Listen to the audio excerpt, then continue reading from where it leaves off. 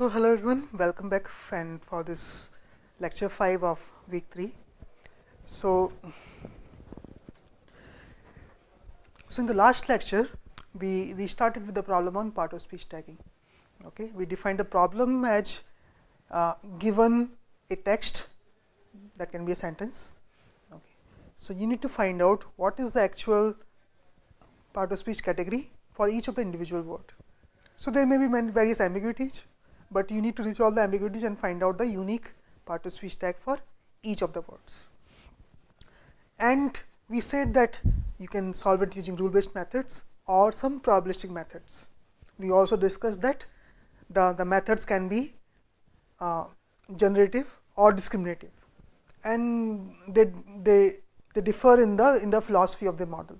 So, in gener generative model the class comes first and it is assumed that the words are generated the, the data is generated from the class and in the discriminatory models, you directly find out the probability of the class given the data.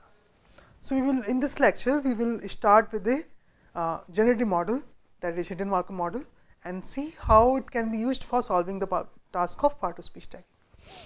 So, this is a probabilistic model. So, so starting with what is my problem. So, I have some n words w1 to wn in my corpus that I observed in and I need to find out the part of speech tags for each of these words. So, so, suppose that you have to find out a sequence capital T, so that assigns T1 to Tn for all of these n words. Now, each of these Ti's that are part of speech tags can belong to uh, the my my actual say suppose I am using the University of Pennsylvania tag set. So, it can take any of those 45 values. So, there are many many different values that these this sequence can take. I need to find out the actual uh, unambiguous text sequence given this uh, word sequence as my input. So, now how do I start solving this problem as per the uh, as per this uh, probabilistic model. So, so, so the idea is that among all the possible sequences of part of speech tags that this word sequence can take, I need to find the one that has the maximum probability. So, I can write it like that. So, this is I have to find out t hat that gives you the maximum probability argmax over all possible t probability t given w. So, I need to find out the particular sequence that gives the highest probability. Now, so as we have already said t is nothing but t1 to tn and w is nothing but w1 to wn. So, I can write it as argmax t1 to tn given w1 to wn. Okay, this is what I will be doing. So, in generative model remember what is the idea? Idea is that the class or the the tags come first and then my words are generated from there. So, I cannot find out the probability of tag given the word, but from the model I can find out the probability of word given the tag. So, I need to invert this di the direction of the probability here. So, instead of finding t given w, I need to find I need to use w given t. So, what is the theorem popular theorem that I can use? I can apply Bayes theorem. So, instead of directly opening it here, I can try saying argmax t p w given t p t given divide by p w okay. And p w is common for all these sequences the probability of the sequence. So this again it is it does not matter. So that will give me argmax over t p w given t and p t. Okay? So this is because i am using a generative model. So first my class that is my t comes and then my sequence is generated w. That's why i have to take it in this format probability w given t. Now i can try and open this. So this will be so, let me just take this particular thing and this will be probability W1 to Wn given T1 to Tn probability T1 to tn. Okay. So now, so I can again use chain rule to write that. Okay, so that we can see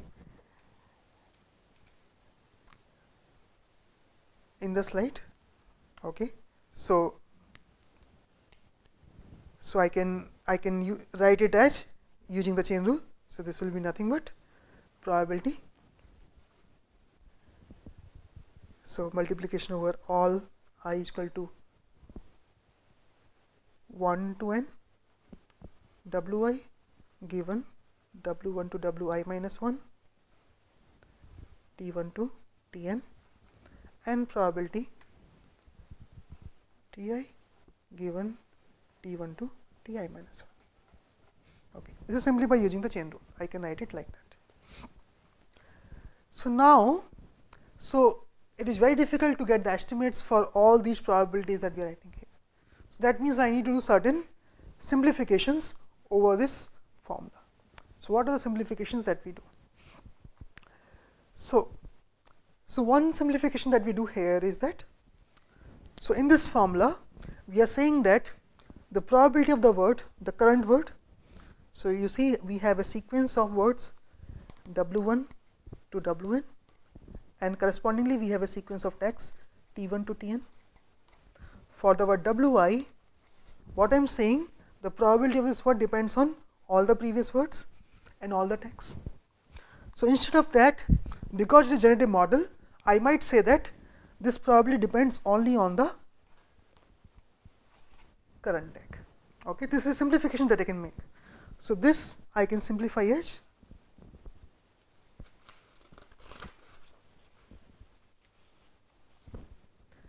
probability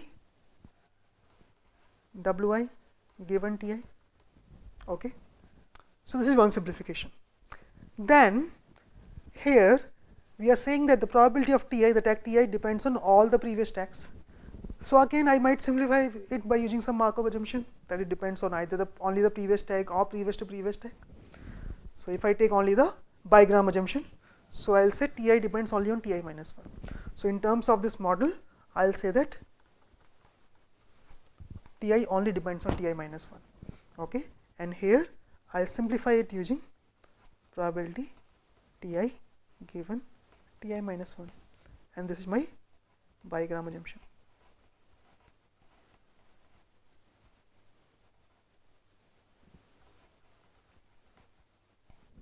Okay. So, now if I if I make the simplification what is the model that we actually see. So, this is the formula that we came up with. So, I want a, a tag sequence that has that gives the highest probability for this particular form and we make some simplification that is the probability of a word appearing depends only on its part of the speech tag. Remember this is a generative model. So, the word is generated from the part of speech tag. So, first the part of speech tags are generated and then the tags are giving each individual word. So, we are making this assumption that the word is generated only from its own part of speech tag. Then, so this gives me the first uh, simplification. Second one, I will say that the probability of a tag depends only on its some of its previous tags. So, if I make the bigram assumption, it will depend only on the previous tag. Okay. So, this will give me this function. So, together the, sim the simplification will give me this formula. So, I want to find a tag sequence that gives me the maximum probability for this particular formula. Okay. So, now once we have come up with this formula, so what is this model actually? Okay. So, so firstly let us see that can we easily compute these probabilities, probability wi given ti and probability ti given ti minus 1. So, how will you actually compute these probabilities? So, one way is that you are given a corpus where uh, you know all the words, you also know what are their part of speech tags. So, somebody has manually annotated these, these this data for you. Now, given this data, can you compute these probabilities? So, for example, computing probability ti given ti minus 1. So, you want to find out how many times this tag ti comes after the tag ti minus 1. So, you will compute it by using the maximum likelihood estimate that is the number of times ti minus 1 and ti come together in the corpus divide by the number of times the word ti minus 1 the tag ti minus 1 comes. Okay? So if you see here in the slide so pti given ti minus 1 can be found by this by using these counts count of the two tags together divided by the count of the previous tag only. So if i want to compute probability nn given dt i will say number of times dt occurs followed by cn nn divided by number of times dt occurs and this if I have the numbers I can compute this probability. What is the other probability I have to compute? I have to compute probability of word given the tag. Okay. So, so to compute probability word given the tag I will find out again how many times this word occurs with this tag divided by how many times that tag occurs. So, this again from my corpus. So, if I have the numbers I want to compute probability H given w vwz I'll find out how many times the word age occurs with the tag vwz divided by the number of times the tag vwz actually occurs in my corpus. So, here if I have the numbers I can compute these probabilities. So, all the probabilities that are required for this model can easily be computed. If I have a data where uh, I know the words and the part of speech tags for each and individual words. So, now let us see how we can use that for some disambiguation. This is not the complete model, just to give you some idea. So, once we have this how we can use that for some disambiguation.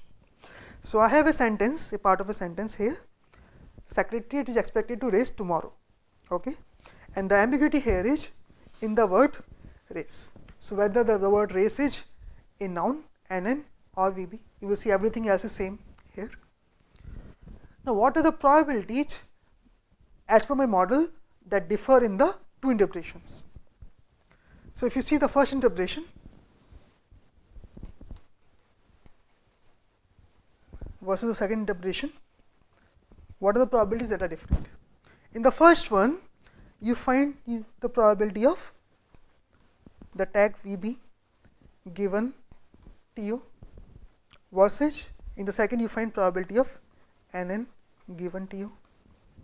Then in the first one you find probability of NR given VB and second you find probability of NR given NN. In the first one you find probability of race given VB and second you find probability of race given NN. And because in your model you are multiplying all the probabilities that means you will multiply all the prob all these three probabilities in the interpretation 1 and all three in the interpretation 2.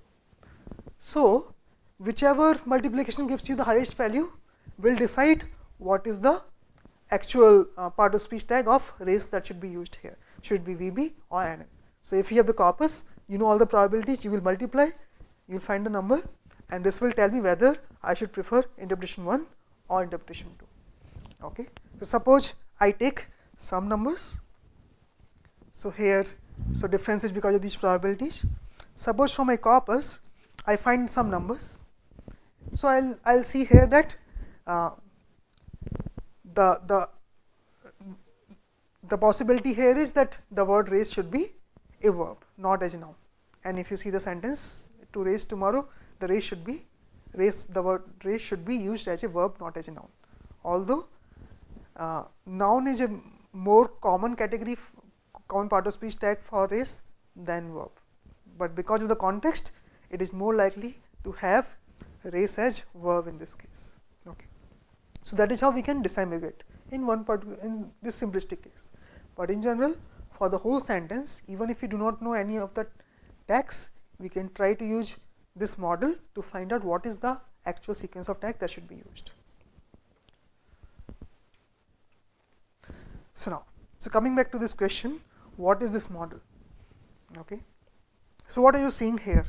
So, you are seeing so you have a sentence so, that is the words that is what you are observing and then there are certain tags that are assigned to each of the in individual words. So, in this model you have probability of, of going from one tag to another tag and then from a tag you get a word. So, can you find can you think of what is the model it corresponds to what is the actual model. So, if you have come across hidden Markov model where you have the states and from one state you transit to another state and so on and in each state that is hidden you can emit the observation Okay, so the word here is observation. So this is nothing but the hidden Markov model. So what are hidden Markov models? So just to give the idea in brief. So here you have the tag transition probabilities, Ti given Ti minus 1. You have the emission probabilities, so that is word observation probabilities, probability Wi given Ti. And so this is, so using this whatever we are describing is a hidden Markov model. Okay. Now to, to tell you what is hidden Markov model, so let me just quickly tell you what is a Markov model and how is hidden Markov model different from a Markov model. Okay. So what is a Markov model? Okay. So this Markov model is best explained using the simple example. So in Markov model what happens? You again have states, but the states are also your observations. Suppose your state is the weather, the weather on the current day, and the weather can be sunny, rainy or foggy. These are three different kinds of weathers that can happen on a given day. Now what what you are you will get you will get you will have these three states. You will know given that today is sunny what is the probability that tomorrow will be sunny or foggy or rainy? So this state transition probability you will obtain. Okay? So so suppose qn is a variable that denotes the variable on the nth day and using this model we can find out the probability of qn the weather on the nth day given all the previous day's weather and here if we use the first order Markov model, so so we said this will depend only on the previous day's weather. Qn will depend only on Qn minus 1. So let's take one simple example. So here, so the, you are seeing the state transition. So, so that says that if today's weather is uh, sunny, then tomorrow will be sunny with a probability of 0.8, and if today is sunny, tomorrow will be foggy with a probability 0.15. So, you can see that from the edges that go from one state to another state also from the table that is shown in, in this. So, now once you are given these probabilities you can do certain you can do certain computations. For example, suppose you have to find out given that today the weather is sunny what is the probability that tomorrow is sunny and day after is rain.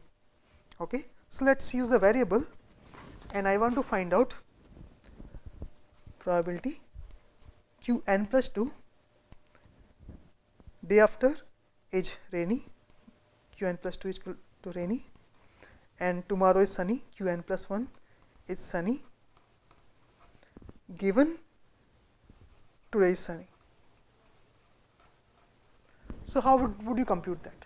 So, if you simply use the chain rule you will say that is nothing but probability q n plus 1 is equal to sunny given qn is equal to sunny times probability qn plus 2 is equal to rainy given qn is equal to sunny qn plus 1 is equal to sunny okay and now because you are using a first order Markov assumption so this will be equivalent to so this you will compute using probability q n plus 2 is equal to rainy given q n plus 1 is equal to sunny. Now, so you have to compute this probability and this probability and that you can obtain from the state transition graph. So, if you go to the previous slide, you will find out probability sunny given sunny is 0.8 and probability rainy given sunny is 0.05. Okay. So, once you multiply this you will get the answer as 0.04. So, here so you get the answer as 0.04. So, that gives you the probability that tomorrow will be rainy and sorry tomorrow will be sunny and day after tomorrow will be rainy given that today is sunny. So, that is how you use the Markov model. Now, this is the Markov model. So, what you see here you have the states. So, in this case the weather so on a day so is a state and transitions are happening among the states. But what is your observation? That is also a state. So, you are also observing the weather, that is your state, you are observing that. Now, remember the example of part of speech text. What are we observing? We are observing the words. When, you, when I give you a text, I, you only observe the words. But what is hidden? That is the text. The texts are hidden. So, that is where the hidden Markov models are different from Markov model. The states there are not observed, they are hidden variables and what is observed is different. So, you the words are being observed here and from the state you can emit the words. So, this is the idea. So, the generative model would be, so you are starting from some state, state 1, you keep on transiting to other states S3 and so on and with each state you also emit a word, emission 1, emission 2 and so on and these emissions are nothing but your observations. These are your observations. So, you need to find out the underlying sequence of states given the sequence of observations. So, now, so yeah, so this is the difference we have seen for Markov chains the output symbols are the same as the states. So, the word sunny is uh, both state and the observable. So, what happens in part of speech tagging? Words are the output symbols, but the hidden states are part of speech tags. Okay. So, so hidden Markov model is nothing but an extension of Markov chain. So, in which what happens that uh, the output symbols that you are having are not the same as the states. So, states are different from your output and we actually do not know what state we are in until we try to use our model. So, what are the elements of an uh, hidden Markov model? So, so what do you need for a hidden Markov model? So, you need a set of states, yes. You need the probability of transiting from one state to another state. You need the probability of emission given a state which words will be emitted with what probability okay and you might also need what is the beginning of a state and uh, and so on. So if uh, if we try to correspond a hidden Markov model with with the part of speech tagging so we need set of states in our part of speech tagging case. So the tags are the states. We need an output alphabet that is the what are emissions. So the words are the emissions. We need the initial state. So in our case that is the beginning of the sentence. We need the transition probabilities that is given a previous tag what will be the next tag. And we need the emission probabilities that is given this tag what will be the word. So, now so once we have this we can also give a graphical representation to our uh, hidden Markov model for part of speech tagging. So, what is happening? So, you have a start state. So, here the start state is shown. From the start state you have a probability of transiting to any of the other tags. So, what does that mean? You can start the sentence with some particular text. So, this probably should depend on what is the tag that is more likely to start the sentence. And once you have this tag, what is the next likely tag and so on. So, this is your transition graph. So, this is what is shown in this slide. So, when we are tagging a sentence, we are actually walking on this state graph. From one state, we are going to another state and so on. And there are various transition probabilities that you can have over this state graph and this you can model by using probability of a state Tn given Tn minus 1. Now, what else is missing here? With each now with in the hidden Markov model with each state you also have the word emission. So, from each state you also want to know what is the probability that you will output or emit a particular word. Okay. So, this is what is additionally at, uh, needed here. So, in the graphical representation now with each states like 2, I should also have the probability of different words emitting from that state. So, here all the words in the vocabulary are, are written and given the, the particular state, what is the probability of uh, outputting or emitting that particular word in the vocabulary. So, that you need to define for all the possible states in your graph. So, now once we have both these, what is my problem? So, so I can define, so if you remember I can define all these probabilities once you give me a corpus that contains a set of words and uh, the, their corresponding part of speech tags. If you give me that I can find out all these probabilities. So, I can define this graph once, have, once I have a corpus. What is my, my problem? At runtime I am only given a an observation that is I am only given a sentence that is a sequence of words. I have to find out what is the corresponding part of speech tag sequence that should be uh, that should be used for this word sequence. Okay. So, that is suppose I am given a uh, a sentence like this it is a part of a sentence promised to back the bill. Okay, there are five words here. So my problem is to find out what is the sequence of text that would be used for this sentence.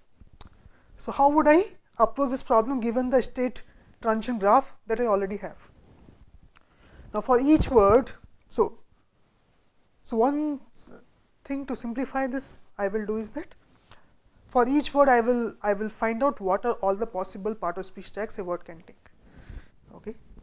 So remember we talked about this said that some words can take multiple part of speech tags. Okay, but but none of the words went beyond seven part of speech tags. Okay, and mostly the words were having if they were ambiguous they were having two or three part of speech tags.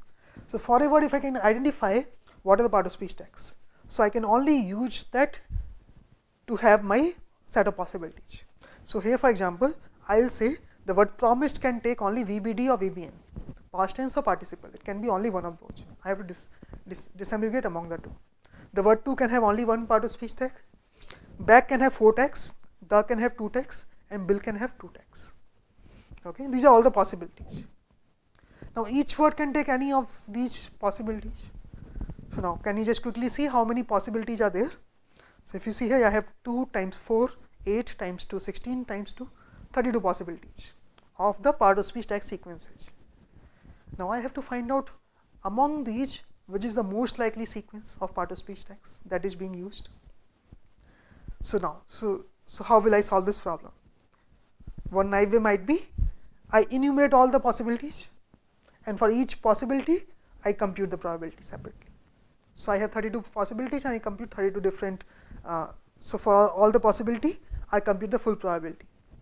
That is one, one possibility. But firstly, this is not very efficient. And think of some sentences which might have uh, say 15 20 words. This this will just go exponential with the number of words. Okay so this is not a good solution so i need to have a solution where uh, it does not grow exponentially with the size of the sentence. Okay so so what will be a good algorithm for for doing that? So ideally i want to come up with the actual part of speech tag sequence like here. It will be VBD, TO, VB, DT and NN from all, all the possibilities. And how will I do that? And that is what we will be discussing in the next lecture. That so this is the Viterbi algorithm how do I apply in my HMM model this Viterbi algorithm to come up with this part of speech tag sequence in an efficient manner okay instead of doing something naive implementation that is uh, exponential and that is actually not feasible for, for doing it at for, for a large corpus. So, that will be the focus in the next lecture.